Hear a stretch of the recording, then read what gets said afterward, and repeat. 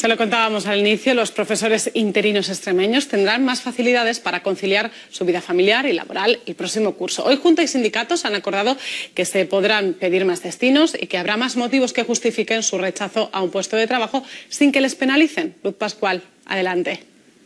Pues así es, ya por fin se pone en marcha este decreto que todavía tendrá que pasar un proceso administrativo. Satisfacción tanto en la parte de la Administración como también en los sindicatos. Entre otras novedades, habrá más destinos, más zonas para elegir. Antes eran dos, coincidiendo con la provincia de Cáceres y Badajoz, y ahora habrá cuatro, cuatro por cada provincia, en total ocho. Otra de las novedades también que se podrá leer en este decreto es que no caduca la mejor nota que haya obtenido el opositor.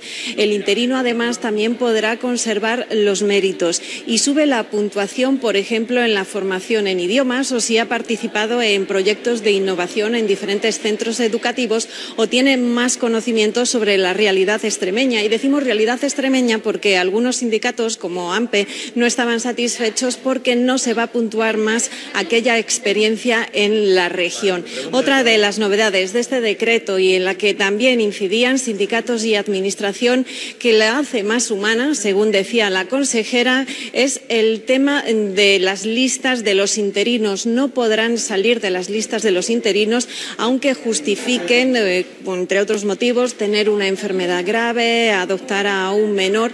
Si un interino rechaza una vacante, por estos motivos seguirá estando en esta lista.